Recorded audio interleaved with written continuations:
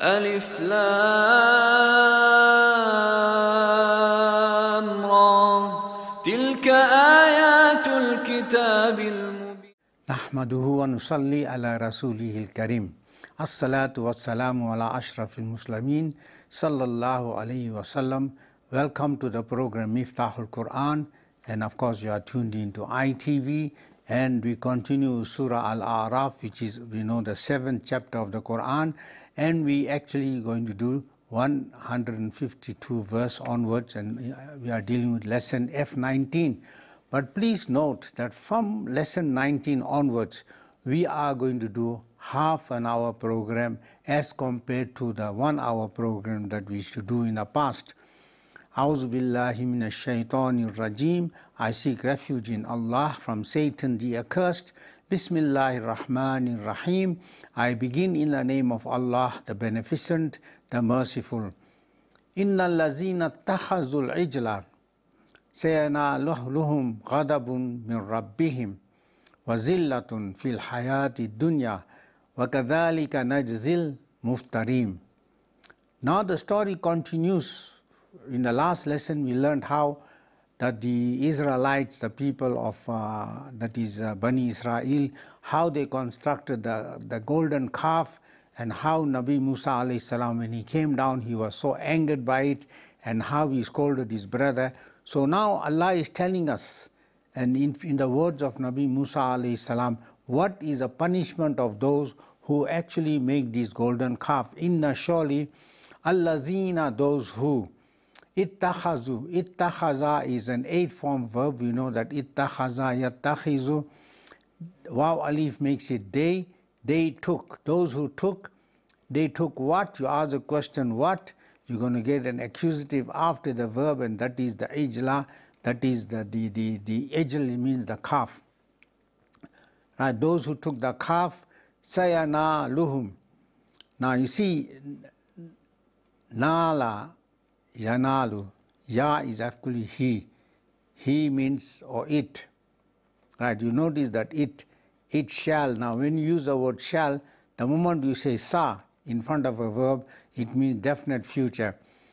Right? Yanalu to overtake him, them, overtake them.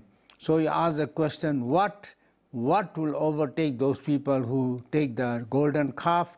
Ghadabun, ghadab, you can see ghadab is the nominative, is indefinite article, and anger. Mean from, right, mean being a preposition, Rabbi is in the genitive case. Do you see that? from their Lord, from their Rabb, from their sustainer, wa and zillatun, zilla, zilla also, what will overtake them? You see, it's another nominative case subject of the sentence, a disgrace. Fi in al hayat, al is of course the, hayat, fi is a preposition, hayati is in the genitive case, fil hayati dunya of the world, or you can say of this world, right? Wa and Kadhalika thus najzi. Right, najzi is na is of course we. We recompense or we reward. We recompense, of course, obviously for evil deeds you cannot reward, so we use recompense. Al muftarina. Right now, this is you notice now it's another iftara, yaftari. This is another eight form verb.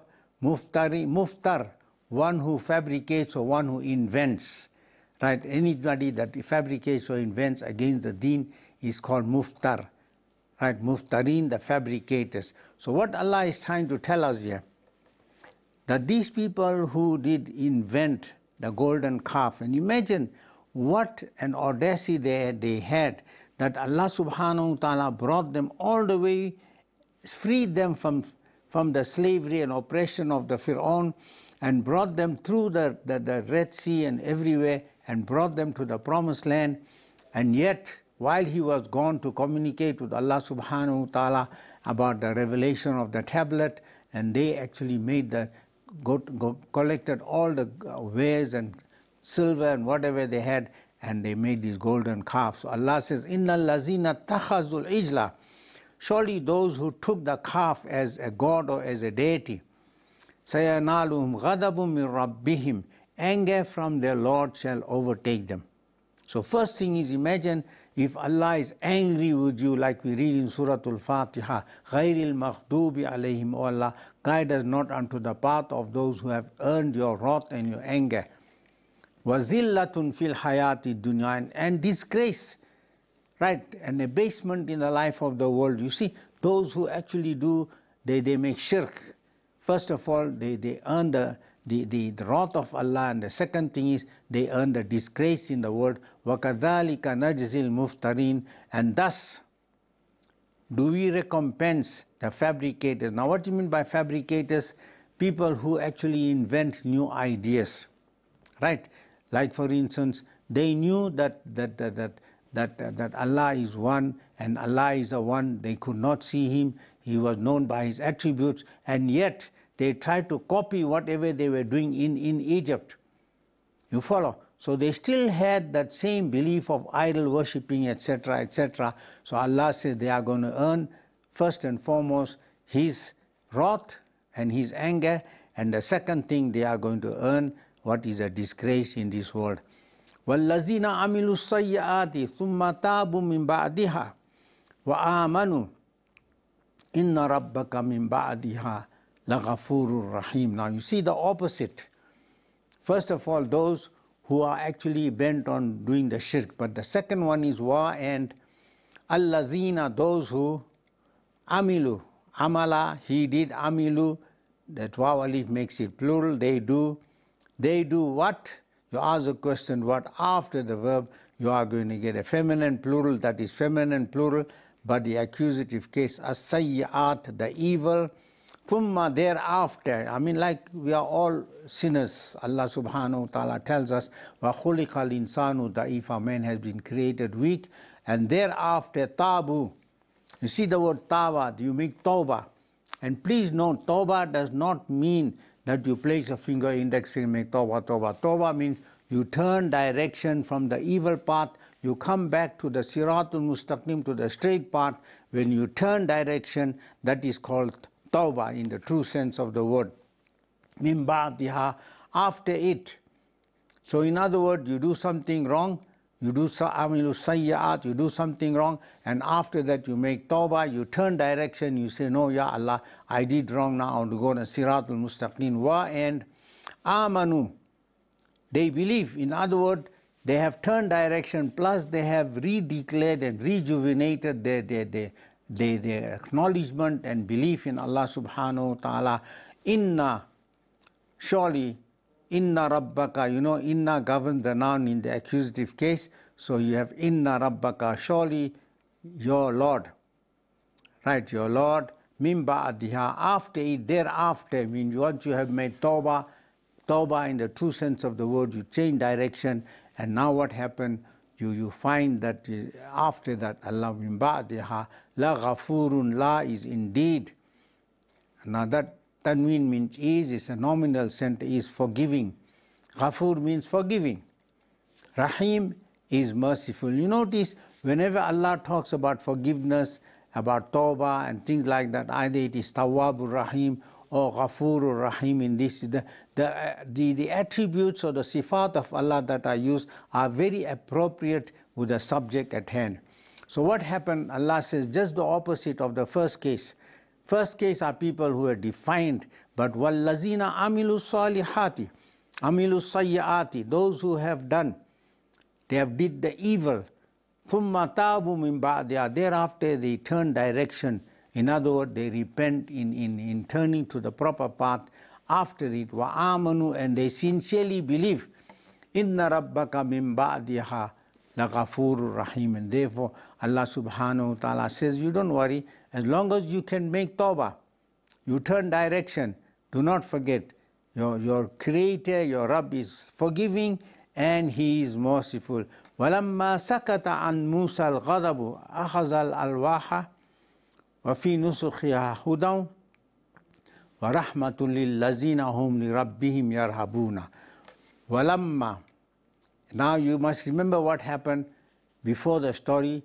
when Musa alayhi salam, he came back from the mountain, he brought the tablets with him, and we know those tablets, we commonly know them as that tablet had the Ten Commandments. So when he came down and he was very angered, and he threw the tablets in that anger because when he saw that this thing.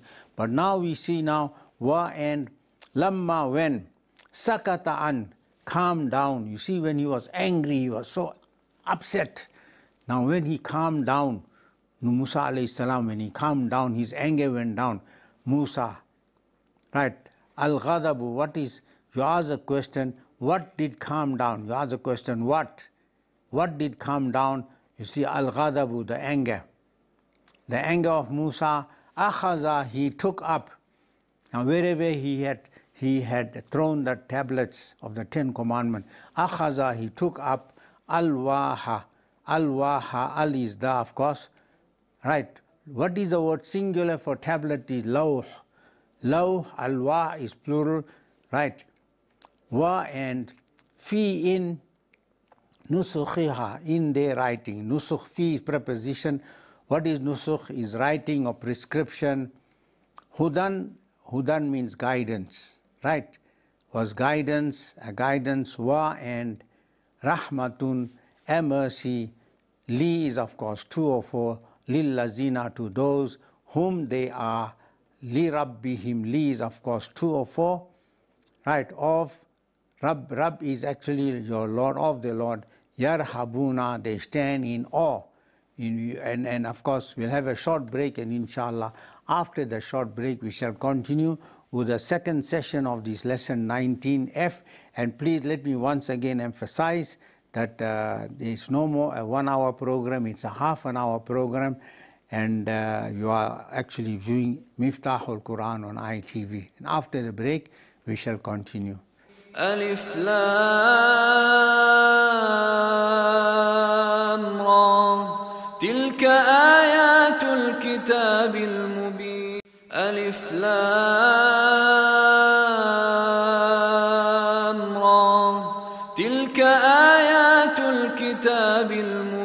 Assalamu alaikum wa rahmatullahi wa barakatuh.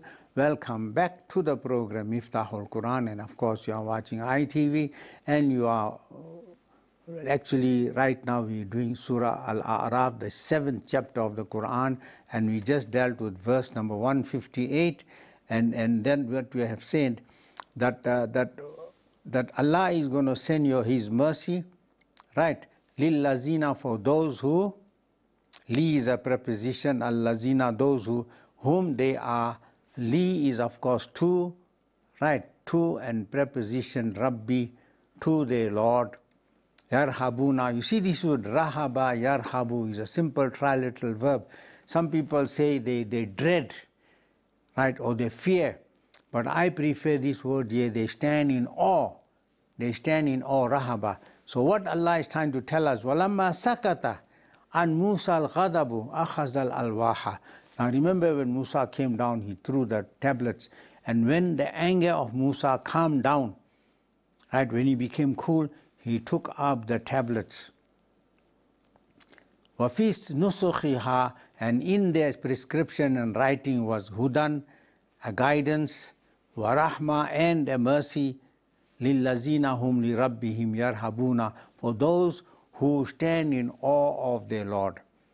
واختار موسى قومه سبعين رجلا لميقاتنا Right now what happened, uh, Musa alayhi salam, he chose, let's see, wa and ikhtara. Ikhtara is like an eight form verb. Ifta'ala ikhtara. He chose, right, he chose.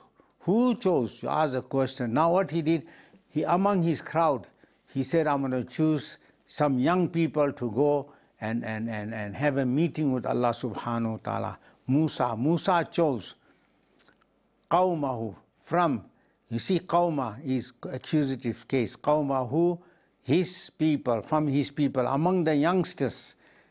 He chose sab'ina, 70. Right, he took 17 rajulan. Now you know rajulun is singular, but here it is used as a collective noun. So we say he chose what? Musa chose what? You ask a question, Musa chose what? You get a question, Sab'ina Rajulan. You see accusative case, 70 men, limiqatina, for our appointment. For miqat. What is miqat? Appointment or, or meeting or something like that. So in other words, what Nabi Musa did, he selected 17 youth, youngsters mostly. وَاخْتَارَ مُوسَى قَوْمَهُ سَبْعِينَ رَجُلًا لِمِقَاتِنَا and Musa chose 70 men from his people for our appointment. In other words, he chose these people, he said, right, let's go up the mountain and, and we are going to spend some time there and we're going to communicate with Allah subhanahu wa ta'ala. فَلَمَّا أَخَذَتْهُمُ الرَّجْفَةُ قَالَ رَبِّي لَوْ شِئْتَ أَهْلَكْتُهُمْ min qablu wa iyaya. Falamma, so when, what happened? As they were going, what happened? There was a trembling of the earth, what they call ar-rajfa. Falamma, so when, akhazat humul, akhaza, akhaza, he took. Akhazat, what is, what is that? That is feminine ta, she took, or she seized them. Right, she, what seized them, you notice al is of course the ar-rajfatu. You see that feminine ta shows it's a feminine noun. So the earthquake is actually feminine feminine by, by, by usage, you can see because of the feminine round ta. So you ask the question, akhazat, it seized. What seized? Right, why do we use that feminine there? As I told you, ar-rajfatu, the earthquake is already in the feminine, right, gender. The earthquake, qala, now all of a sudden as they were going, Musa salam was shocked. So the earth started trembling. Qala, he said, Rabbi, my Lord. Now you see this, this Ya, this Ya actually means my. The Ya is understood. That is Quranic license, like your political license. Rabbi, my Lord, love, had, shi'ta. You see Sha'a, Sha'a, he desired, he willed, he liked. Right? Shi'ta, Ta is you. Ta is you. Who is that you here? It is referred to Allah subhanahu wa ta'ala. If you desired, ahlaktahum. Ahlaka, ahlaka. What is ahlaka yuhliku? It is it is a fourth form verb. Ahlaka yuhliku. Ahlakta. Ta is you, O Lord. You destroyed them. Ahlaka means you halak. We talk about halak kar destroyed them, demolished them. Right, meaning, oh ya Allah, now that we are confessed, we made tawbah, now we're coming to miqat, why are you trying to destroy? Because he's got scared of the earthquake. Min qablu, before. Wa and. Iyaya, and me also, Ya Allah. You also want to destroy me also, Ya Allah. So what Nabi Musa, as they were going, he selected the 70 men as they were walking, trying to climb up the mountain or wherever the miqat, that is a meeting was. فَلَمَّا أَخَذَتْهُمُ الرَّجْفَةُ So when the earthquake seized them, قال Musa said, Rabbi, لو شئت أهلكتهم من قبل. If you had desired, if you had liked, you could have destroyed all these people before. You would have destroyed them before, and even me also. But now that we have made tawbah, we are coming to meet you. So why, Ya Allah, why are you doing this? You see, this is a question Nabi Musa asked. So now we come. Atuhlikuna bima fa'ala sufaha'u minna in hiya illa fitnatuka. Ah, what is ah? And we know ah introduces a, an interrogative, a question. Ah, right. Tuhliku ahlaka, as I told you, this is a fourth form verb. Ahlaka yuhliku. Right, ahlaka yuhliku. You take the ya out, you make the ta means you. What is this ta means you, speaking to Allah subhanahu wa ta'ala you will destroy, you will demolish us. Ya Allah, Musa is asking, Ya Allah, will you destroy us? Right, Bima, because of that what, or for that what, how many people did make the, the statue? Just a few. Fa'ala have done, as-sufahau, al-izda, of course, al-izda, the fools, the stupid people, minna, among us. Right in only here it is illa except fitnatuka. Fitna, what is fitna means? A trial, a test, an evaluation, same like bala, fitnatuka, uh, the trial from you. So Musa alayhi salam is telling Ya Allah, Atuhlikuna bima fa'ala sufaha'u minna. Will you destroy us? That we were not responsible for the calf, that especially the 70 youth that are going to meet you now. Will you destroy us for that, what the fools amongst us have done? So Allah, Nabi Musa says to Ya Allah, In hiya illa fitnatuk. It is not except a trial from you. And of course, we have come to the end of this lesson F19 and shukran for watching. As I told you, henceforth, the lessons are going to be half an hour each, and we have come to the end of this today's program. And shukran for watching, and I must thank my engineers. And from my side, Assalamu alaikum wa rahmatullahi wa barakatuh. Alif Lam Ra Tilka ayatul kitab